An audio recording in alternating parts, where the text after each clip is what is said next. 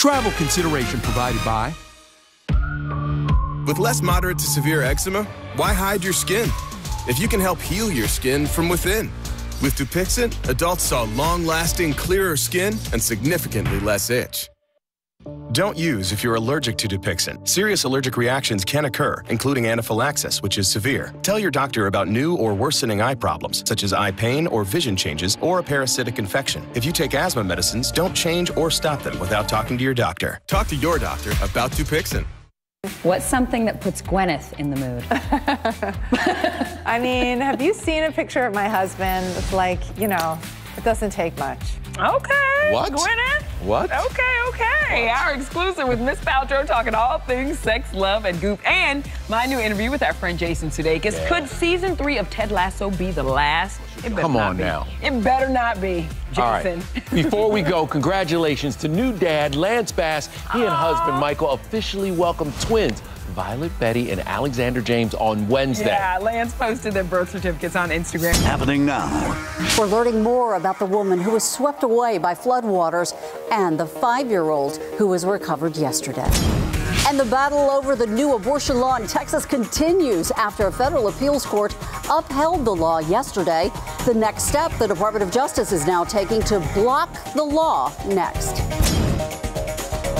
The much anticipated cold front has already arrived, causing showers and storms. I'll have an update on radar and let you know what this front means for temperatures tonight and through the weekend. The news at 5 starts right now. And first and five, more than 24 hours after a woman was swept away in floodwaters in East Bexar County, her body's been recovered from her submerged vehicle. Family identifying her as Esther Rodriguez Conde, the second person to be pulled from that body of water. Family of the five year old girl whose body was recovered yesterday tells KSAT 12 her name is Alyssa Lehman. Tiffany Huertas joins us live from the area of that recovery near North Graytown Road and FM 1518. That family must be devastated. Tiffany, who did you speak with out there?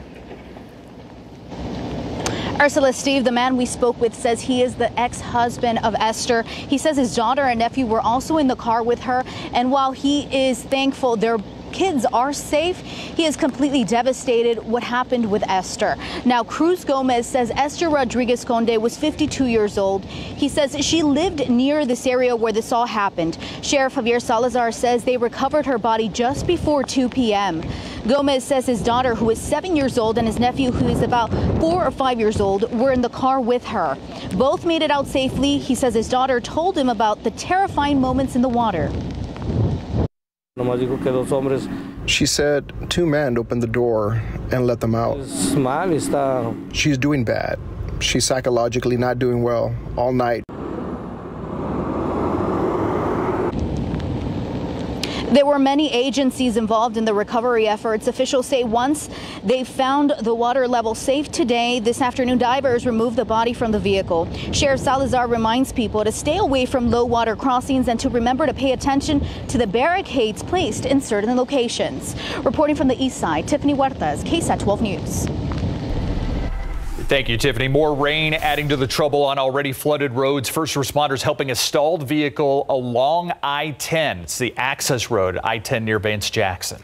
And that is where a woman got stuck in the high waters. She appears to be all right and was speaking with an officer after this.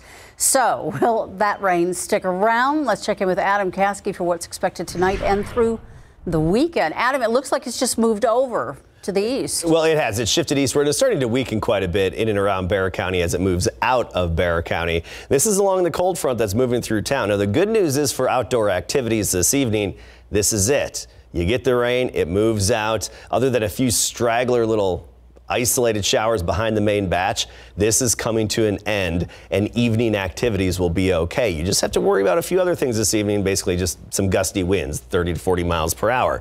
But right now, you see the batch, main batch of moisture and rainfall has really weakened significantly over the past hour as the cold fronts cut underneath it. Now east side of San Antonio, moving out of Kirby and even just kind of surrounding China Grove, right along I 10 and 1604 there, right near Green Road.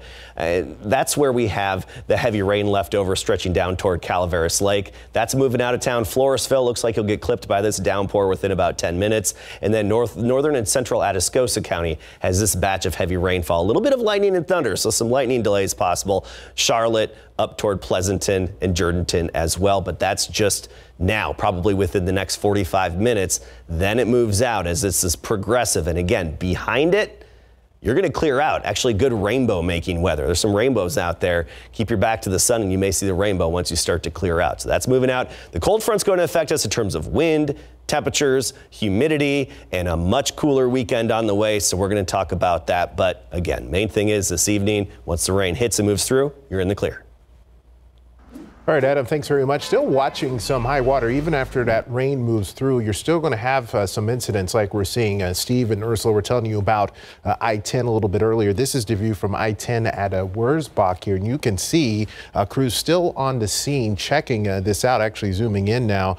Saw that high water on the road and people navigating around that right now. You see the crews there working on that there. So uh, let's go to some other looks at the area. This is going to be 281 at the quarry, a heavy line of traffic there. So just showing you what's going on. These are our regional travel times. It'll take you 61 minutes, so more than an hour to come into town from New Braunfels.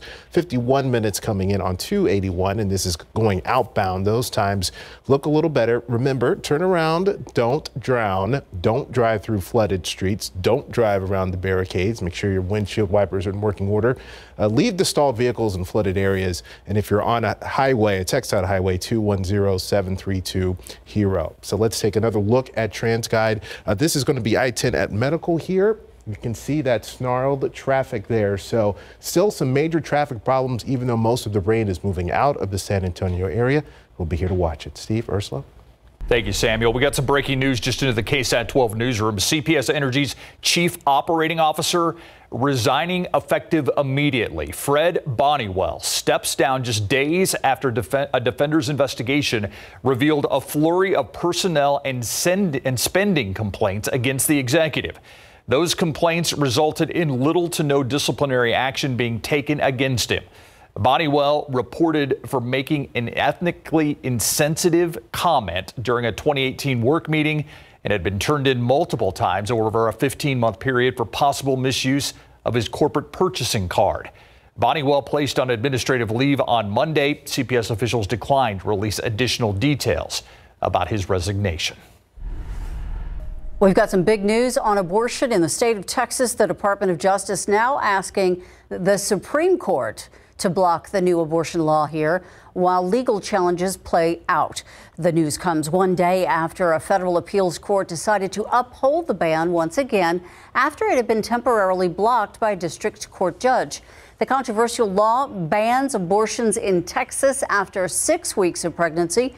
It also allows for anyone to file a lawsuit against those who assist women in getting an illegal abortion.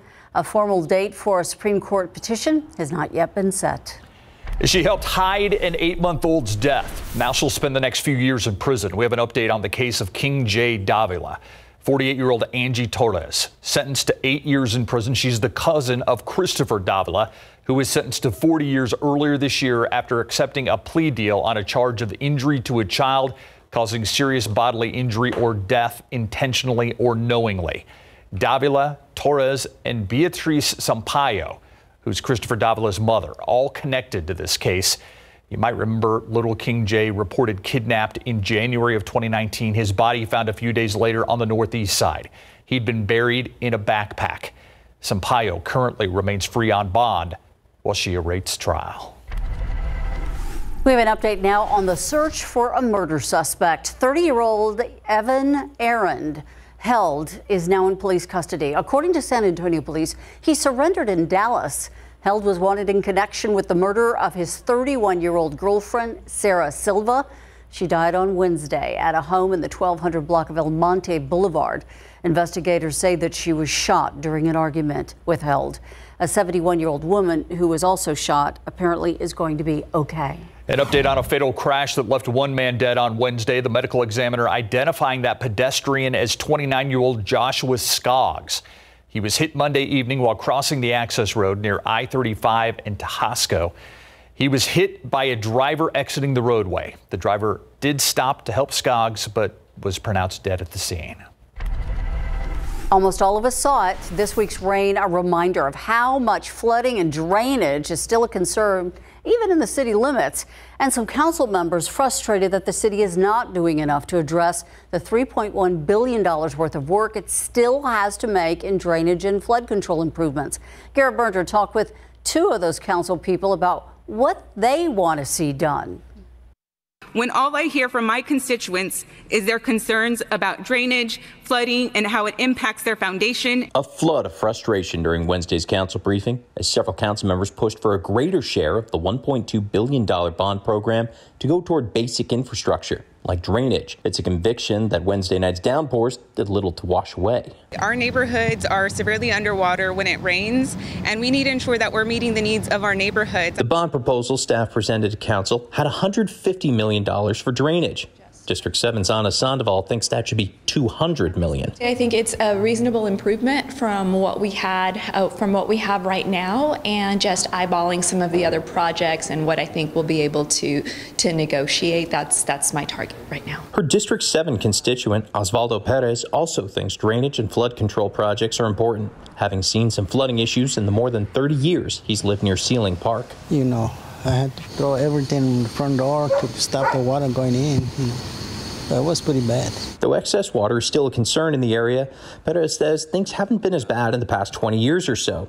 He also thinks there's been some improvement since the latest phase of expanding the Seeling channel next to him. Hoping help not just with my house, but the whole neighborhood. City staff are still tweaking the bond program based on the conversation at Wednesday's council meeting. A set of council appointed committees will tackle the bond program next. Garrett Brnger, KSAT 12 News. We are four months shy of the four year anniversary of the deadly shooting at Marjory Stoneman Douglas High School in Parkland, Florida. Today, we've learned the suspect in that case, Nikolas Cruz, plans to plead guilty to all charges. 17 people killed at Stoneman Douglas back in February of 2018. The suspect who previously pleaded, pleaded not guilty faces 17 counts of premeditated first degree murder, 17 counts of first degree attempted murder.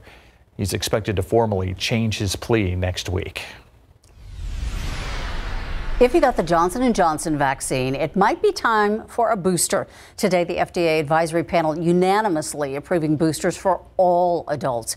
The recommendation is to get a second dose at least two months after the first. The FDA will now consider the committee's recommendation. Then the CDC vaccine advisors are going to be asked to consider it as well. The FDA authorized Moderna's booster shot yesterday. Pfizer's booster has also been authorized for some vulnerable groups. Working out isn't just good for your physical health, it's good for your mental health as well. No gym, though? No problem. The equipment you can use at home that'll get the job done and won't break the bank. Next.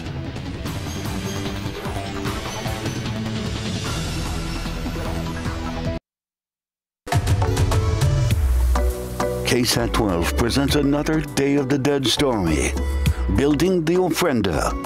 Brought to you by Toyota. Ofrenda means offering, and on November 1st, these altars welcome back our loved ones to the world of the living. They're built with many pieces and parts, and each of them has a specific purpose.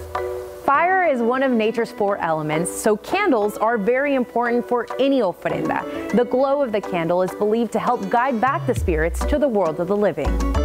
Placed along the altar's bottom level or entrance, they create a welcoming path for your loved one. More are usually placed around the altar to not only illuminate, but to honor the souls of the forgotten.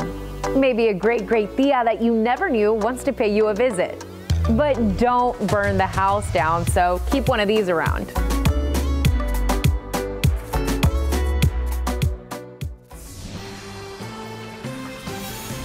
New at 5, budget-friendly home workouts. Sales of home exercise equipment have soared over the past year and a half. Is some of it coming with big claims, promises, and price tags. 12 on your side's Marilyn Moritz with which ones may be worth your sweat and your money.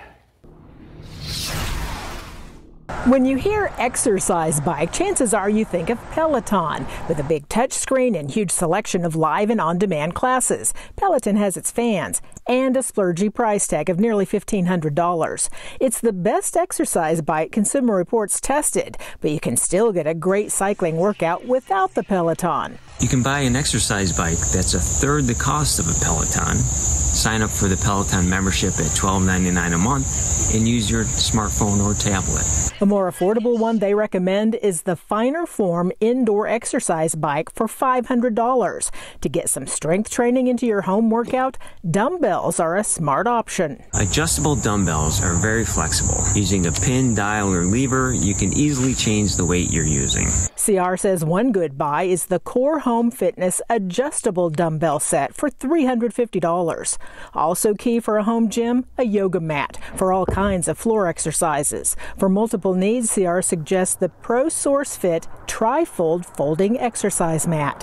Whether it's yoga, strength training, or cardio, there are plenty of apps that can help you at home too. Apps like Apple Fitness Plus, Peloton, and Equinox Plus are just a few to check out. Marilyn Moritz, KSAT 12 News. All right, there's really no doubt when that front came through today because the, the skies just opened up for a big part of the viewing area. They did, and now we're actually starting to clear out a little bit, especially when you look off to the west. We're looking east here, basically on the back end of the storms as they move out of town. Uh, but off to the west, we actually have some sunshine. You know what has my attention? Tell me. 72. I knew it. It yes. was not that when I got to work today. No, and temperatures have rebounded a little bit since the rain moved through, but overall, we uh, are going to see temperatures falling quite a bit. So, weather headlines the rain is end- ending around San Antonio and even anywhere north and west of San Antonio. Still some lingering showers and storms out there east of town and south. We'll take a look at those in a moment. But once the rain moves through, you're done. And then the, the focus really shifts to the wind. It's going to be windy tonight through tomorrow morning. Much cooler this weekend. I mean, we're talking fall like conditions. So here's the forecast for this evening. By 8 o'clock, the rain well south and east of San Antonio. We're talking along the coastal plain at that point. Otherwise, a clear sky later on tonight. It's just the wind. We'll have those gusts up to about 30 to 40 miles per hour. So you're going to really notice that. Okay, here's a look at the radar over the past hour. This is a one hour animation. Looking around San Antonio, a few little spritzes and sprinkles left over, but the heavy rain is out. Once you're on the backside, you're good to go. Seguin, you're on the backside, you're good to go. Geronimo up to New Braunfels, San Marcos, Luling. We have some heavy rainfall in Gonz- or near Gonzales in western Gonzales County, and that concerns me because of all their flooding that they had the other night. Luckily, this isn't too organized and it's progressive. So right now, we don't have any flash flood warnings out to the east, but we still have the river flood warnings in Gonzales County. So something to keep in mind that it's like pouring water on concrete right now in Gonzales County. At Atascosa County, that's where we have some heavy rain and thunderstorms moving through. These are moving to the southeast at 20 miles per hour. Charlotte, Charlotte up to Jourdanton, Pleasanton, a little bit of lightning associated with it. Those white lines indicate individual lightning strikes. But again, all progressive at about 20 miles per hour. Pearsall, Heavy rain is starting to move out, so conditions will start improving there for evening activities. Again, this is progressive. That's good. Once it's out of your area, you're good to go the rest of this evening. Take a look at the wind gusts. Okay, this isn't the steady wind. Winds are steady at about 15 miles per hour, but Gonzales gusting to 31, 23 miles per hour, New Braunfels, and Hondo gusting to 28. We're expecting those wind gusts to increase. Here's our future cast for it. 8 o'clock, wind gusts around 30 miles per hour. Later tonight, midnight, wind gusts between 35 and 40 miles per hour. So your sensitive decorations outside, your Halloween decorations, uh, either take them in for the night or deflate them. If they're inflatables, obviously deflate them. Saturday morning, still gusty winds between 30 and 40 miles per hour, and then tapering off a little bit by tomorrow afternoon.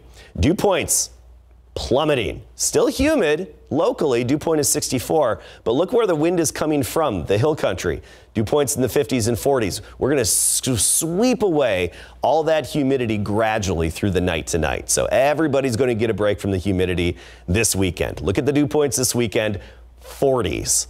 And then even Monday, dew point near 50 degrees. But the humidity returns by next Tuesday. So a lack of humidity, cooler temperatures on the way, and some gusty winds as we transition to those cooler temperatures.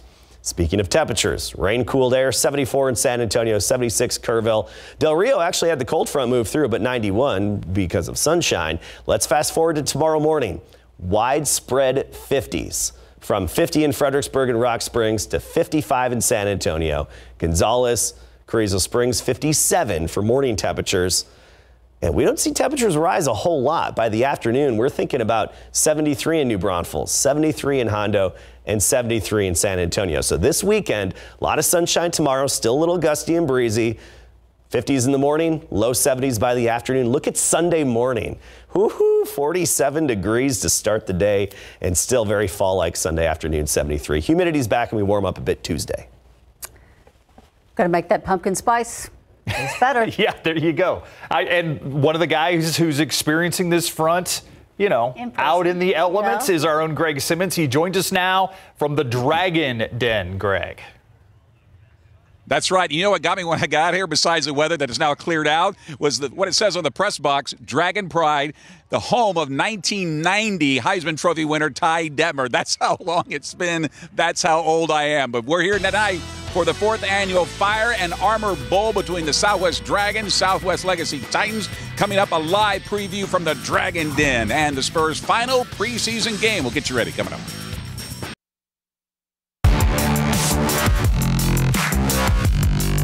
Afternoon, everybody, and welcome live to the Dragon Den for the big game and our big game coverage tonight. That's where the Southwest Dragons play host of Southwest Legacy Titans in the fourth annual Fire and Armor Bowl. Now, many believe this could very well be for the district championship in 14-5A Division One, since both teams come into this game undefeated in district. The Titans are 5-1 overall, 2-0 in district, with their only loss of the season against Floresville, 44-41. The Dragons are 5-2 overall, 3-0 in district, with their losses their first two games of the season to Central Catholic and Floresville as. But since that time, the Dragons have been breathing fire, winning five straight. Tonight, hope to get even with the Titans in this series.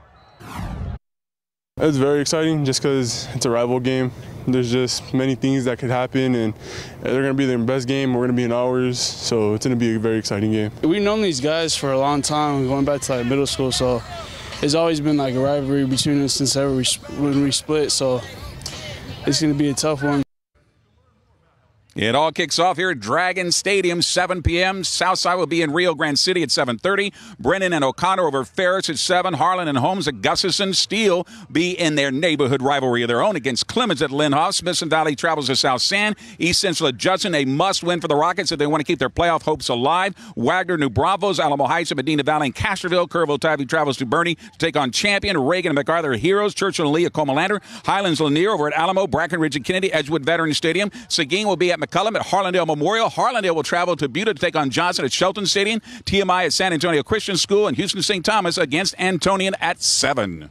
Our big game coverage road trip has Larry and photographer Eddie Latigo headed to La Vernia first tonight to see if the Bears can beat the Bulldogs of Somerset. Then it's down to Floresville to watch the Tigers and Lockhart. And then over to Poth to see if the Pirates can raid George West. And don't forget, our San Antonio Spurs wrap up their preseason tonight when they play host to the Houston Rockets in the AT&T Center for they open their regular season next Wednesday against Orlando. And good luck to the Astros in Game One of the ALCS. Don't forget to join us on the BGC app for all the live Texas Sports Productions games tonight. Follow us on Twitter for the latest scores, and of course on the night beat for all the highlights. Live from Dragon Stadium, Greg Simmons, KSAT 12 Sports. Great night of football. Thank you. We'll be right back.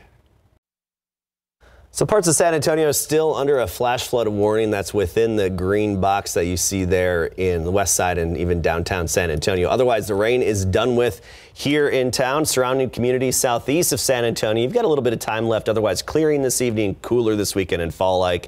We'll have more details at 6.